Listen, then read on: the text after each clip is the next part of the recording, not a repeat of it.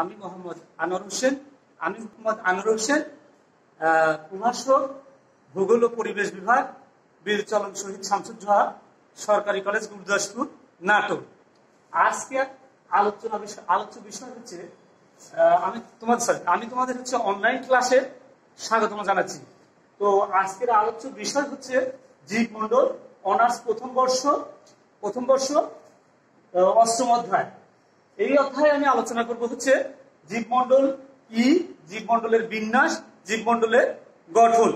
তো শিক্ষার্থী, প্রিয় শিক্ষার্থীরা, জীবমণ্ডল হচ্ছে পৃথিবীর কোথাও কোথাও কোনো প্রাণের অস্তিত্ব নেই। পৃথিবী ছাড়া সৌরজগতের আর কোথাও কোনো জীবের অস্তিত্ব নেই। বিজ্ঞানীরা আজ পর্যন্ত যতগুলো মহাকাশযান পরিচালনা করছে তার কোনোটাই প্রমাণ করতে পারে নাই যে সৌরজগৎকে কেন্দ্র করে যতগুলো গ্রহ আছে তার কোথাও জীব এবং জীবের অস্তিত্বের সন্ধান পায় নাই। একমাত্র একমাত্র আমাদের এই পৃথিবীতেই জীব এবং জীবের সন্ধান পাওয়া গেছে। তাই এই পৃথিবীর বায়ুমণ্ডল বাড়িমণ্ডল এবং হচ্ছে আহ, অশ্বমণ্ডলের মধ্যে জীবের উপযুক্ত জীব বসবাসের উপযুক্ত পরিবেশ আছে। তাই বলা যায় যে হচ্ছে পৃথিবীর জীব আহ, অশ্বমণ্ডলের উপরিভাগ বায়ুমণ্ডলের নিম্নভাগ এবং এবং হচ্ছে সমস্ত বায়ুমণ্ডল মিলে যে জগৎটার সেটাই হচ্ছে জীব মণ্ডল এই মণ্ডলে জীব মণ্ডলকে আমরা হচ্ছে দুটো ভাগে ভাগ করছি। একটা হচ্ছে স্থল ভাগের জীবমণ্ডল আর আরেকটা হচ্ছে জলভাগের জীবমন্ডল তো আমরা হচ্ছে জীবমণ্ডলটা আমরা হচ্ছে দুইটা ভাগে ভাগ করেছি। একটা হচ্ছে স্থল ভাগে স্থল ভাগে জীবমণ্ডল আরেকটা হচ্ছে জলভাগে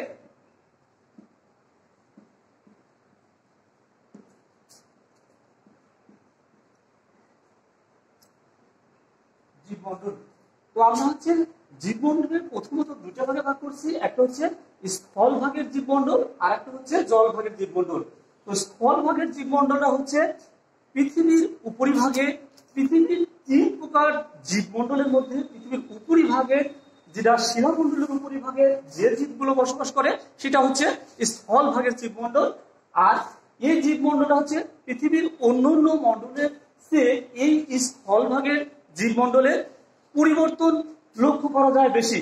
কারণ এই স্থলভাগের আবহাওয়া, জলবায়ু এবং হচ্ছে তাপমাত্রার তারতম্যের কারণে পৃথিবীর অন্য অন্য মণ্ডলের চেয়ে এই মণ্ডলে জীবের বিন্যাস বা জীবের তারতম্য দেখা যায়। দেখা যায় যে হচ্ছে আমরা স্থলভাগের জীব মণ্ডলকে আমরা হচ্ছে তিনটা ভাগে ভাগে, কয়েকটা ভাগে ভাগ করেছি। এই ভাগগুলো হচ্ছে, যেখানে হচ্ছে পঁচিশ সেন্টিমিটারের কম বৃষ্টিপাত যুক্ত অঞ্চলে এই অঞ্চলটাতে হচ্ছে মরু, মরুভূমি। এই অঞ্চলে, এই অঞ্চলের জীবগুলো, এই অঞ্চলের জীব এবং উদ্ভিদের বিস্তার কম। কারণ হচ্ছে যে এই অঞ্চলে হচ্ছে বৃষ্টিপাত এবং হচ্ছে তাপমাত্রার তারতম্য দেখা যায়। স্থলভাগে উষ্ণতা সহ্যকারী যেসব জীবগুলো, সেগুলো এই স্থলভাগে বাস করে।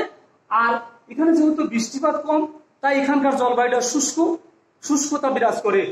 আবার দেখো যে এই স্থলভাগের জীবমণ্ডলের মধ্যে আবার হচ্ছে পঁচিশ থেকে পঁচাত্তর সেন্টিমিটার বৃষ্টিপাত যুক্ত অঞ্চলে, এই অঞ্চলে এই অঞ্চলে ঘন সন্নিবিশিষ্ট উদ্ভিদ উদ্ভিদ এবং কিছু ওই অঞ্চলে বসবাসকারী জীবগুলো দেখা যায় এবং কিছু বড় গাছও দেখা যায়। আবার পঁচাত্তর থেকে পঁচাত্তর থেকে দুশো সেন্টিমিটার বৃষ্টিপাত যুক্ত অঞ্চলে অঞ্চলে ঘন অরণ্য এবং বনভূমি দেখা যায়। এই অঞ্চলে বড় বড় বৃক্ষ এবং ওই অঞ্চলে বাঘ, সিংহ এবং হচ্ছে বড় বড় জীবজন্তু বাস করে। আবার দেখো, নিরক্ষরেখা আবার হচ্ছে অক্ষাংশ ভেদে এই অক্ষাংশ ভেদে এই স্থলভাগে উদ্ভিদ এবং জীবের তারতম্য দেখা যায়। দেখা যাচ্ছে নিরক্ষরেখার নিরক্ষরেখার পাঁচ ডিগ্রি উত্তর থেকে পাঁচ ডিগ্রি দক্ষিণ অক্ষাংশের মধ্যে, দক্ষিণ অক্ষাংশের মধ্যে যে জলবায়ু বিরাজ করে এই জলবায়ুটা হচ্ছে প্রচণ্ড তাপ। এই অঞ্চলগুলো হচ্ছে দক্ষিণ আমেরিকার দক্ষিণ আমেরিকার উত্তরাংশ, আফ্রিকার কেন্দ্রস্থল এবং হচ্ছে দক্ষিণ পূর্ব এশিয়ার দ্বীপগুলোতে সূর্য সারা বছর লম্বাভাবে কিরণ দেয়। কিরণ দেয় বিধায় এই অঞ্চলের তাপমাত্রা অত্যাধিক বেশি। আর তাপমাত্রা বেশি থাকার পাশাপাশি এই অঞ্চলে আবার বৃষ্টিপাত হয়। বৃষ্টিপাত হওয়ার কারণে বৃষ্টিপাত হওয়ার কারণে তাপমাত্রার একটা সমন্বয় সমন্বয় হয়। আর এই কারণে এই অঞ্চলে বিভিন্ন ধরনের উদ্ভিদ এবং পানির বসবাস দেখা যায়। আবার পনেরো থেকে তিরিশ ডিগ্রি অক্ষাংশের মধ্যে অক্ষাংশের মধ্যে সাভানা ঘন তিন তৃণভূমি দেখা যায়।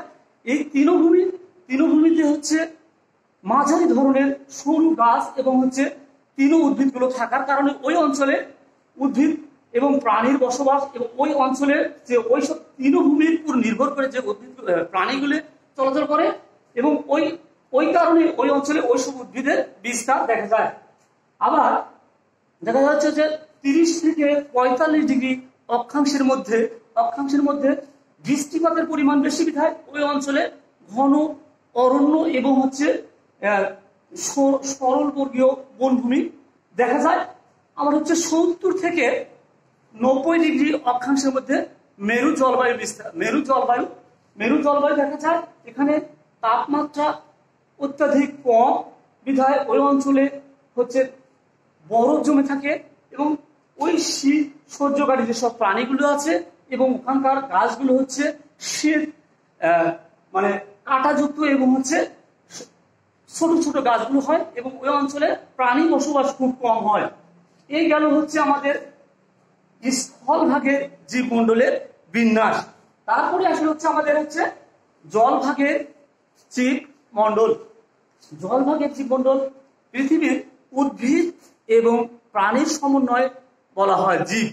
আর এই জীবগুলো জলভাগের জলভাগের জীব পৃথিবীর তিন ভাগের চার ভাগের চার ভাগের তিন ভাগই জল। এবং এক ভাগ এক ভাগ হচ্ছে স্থল। এক ভাগ হচ্ছে স্থল ভাগ তাই আয়তন যত হবে, এই স্থল ভাগে স্থল ভাগকে আমরা বল হচ্ছে স্থল ভাগ পৃথিবীর হচ্ছে পৃথিবীর হচ্ছে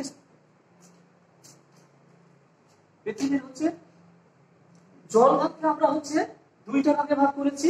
একটা হচ্ছে স্থল ভাগের সাধু পানির সাধু পানির জীব জীবমণ্ডল আর একটা হচ্ছে লোনা পানির জীবমণ্ডল স্থলভাগে হচ্ছে উনত্রিশ, স্থলভাগ পৃথিবীর পৃথিবীর মোট আয়তনের উনত্রিশ দশমিক, পৃথিবীর মোট আয়তনের হচ্ছে পৃথিবীর মোট আয়তনের সত্তর দশমিক সত্তর দশমিক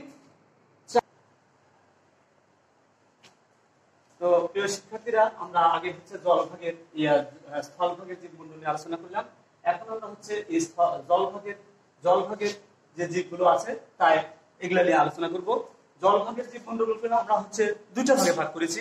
একটা হচ্ছে জলভাগে জলভাগে অবস্থিত স্বাদু পানির জীব, আর একটা হচ্ছে সামুদ্রিক লবণাক্ত পানির জীব।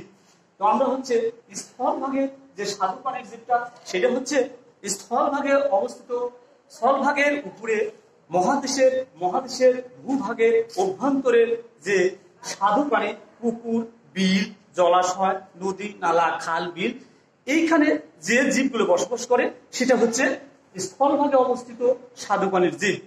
আর আমরা হচ্ছে তারপরে দেখতেছে সামুদ্রিক লবণাক্ত পানির জীব। এই সামুদ্রিক লবণাক্ত পানির জীবগুলো হচ্ছে সামুদ্রিক সামুদ্রিক সমুদ্র হচ্ছে যে বিশাল জলরাশি। সমুদ্র হচ্ছে বিশাল জলরাশি। এই জলরাশি, এই জলরাশির জীবমণ্ডলকে আমরা হচ্ছে তিনটা ভাগে ভাগ করেছি।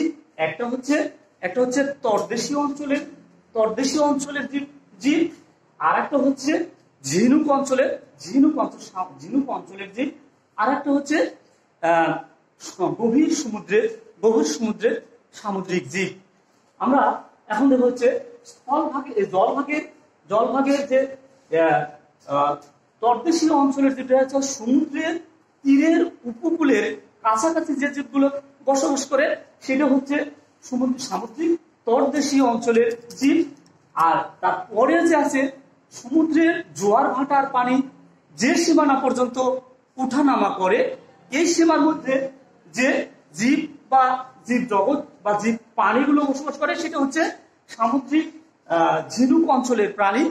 আর তারপরে হচ্ছে এই সামুদ্রিক আহ, তটদেশীয় অঞ্চলের পর থেকে গভীর সমুদ্রের সমভূমি থেকে সম সমুদ্রে গভীর সমুদ্র পর্যন্ত যে যে জীবগুলো বসবাস করে, সেটা হচ্ছে সেটা হচ্ছে সামুদ্রিক জীব। তো আমরা আজকে ক্লাসে আলোচনা করলাম হচ্ছে জীবমণ্ডল কি জীবমণ্ডল কি, জীবমণ্ডলের জীবমণ্ডলের হচ্ছে বিন্যাস এবং জীবমণ্ডল জীবমণ্ডল বিন্যাস নিয়ে আলোচনা করলাম এবং জীবমণ্ডলের এর পরেও আমরা হচ্ছে আছে জীবমণ্ডলের গঠন। এরপরে আমরা যা যে বিষয়টা নিয়ে আলোচনা করব তা হচ্ছে জীবমণ্ডলের গঠন। গঠন জীবমণ্ডলের পরের যে বিষয়টা আমরা হচ্ছে তো প্রিয় শিক্ষার্থীরা প্রিয় শিক্ষার্থীরা আমরা হচ্ছে আজকে যে টপিকসটা নিয়ে আলোচনা করলাম তা হচ্ছে জীব জীবমণ্ডল কি? জীবমণ্ডলের বিন্যাস এবং জীব জীবমণ্ডলের আহ, গঠন। এই বিষয়গুলো আলোচনা করলাম। এই বিষয়টা হচ্ছে, আমি অনার্স প্রথম বর্ষের অষ্টম অধ্যায় নিয়ে আলোচনা করলাম। আর এই বিষয়টা হচ্ছে তোমরা হচ্ছে উচ্চ মাধ্যমিক পর্যায়ে উচ্চ মাধ্যমিক পর্যায়ে ইয়াতেও আছে। উচ্চ মাধ্যমিক পর্যায়ের হচ্ছে শিশির অধ্যায়ের যে এই অধ্যায়টা আছে, তোমরা ওখানে দেখতে পারবে। তো আজকে আমরা এই বিষয় আলোচনা আগামী ক্লাসে এর পরে আরও অনেক বিষয় নিয়ে আলোচনা করব। তো তোমরা হচ্ছে নিশ্চয়ই এই বিষয়গুলো জীবমণ্ডল কি এবং জীবমণ্ডলের বিনাশ, এগুলো বুঝতে পেরেছ। তো আমরা হচ্ছে, আর আজকে যে অনলাইন ক্লাসটা হলো, এটা তোমরা মাঝে মাঝে দেখবা। আর তোমরা যেহেতু করোনাকালীন সময় যাচ্ছে, এই সময়টা হচ্ছে তোমরা বাসায় বসে এই ক্লাসগুলো দেখবা। আর সরকারের যে নির্দেশনাগুলি আছে, সেই নির্দেশনাগুলি সঠিকভাবে পালন করবে এবং বাসার বাইরে গেলে মাস্ক করে বের হবে। এই বলে আজকে ক্লাস আমি শেষ করলাম। ধন্যবাদ।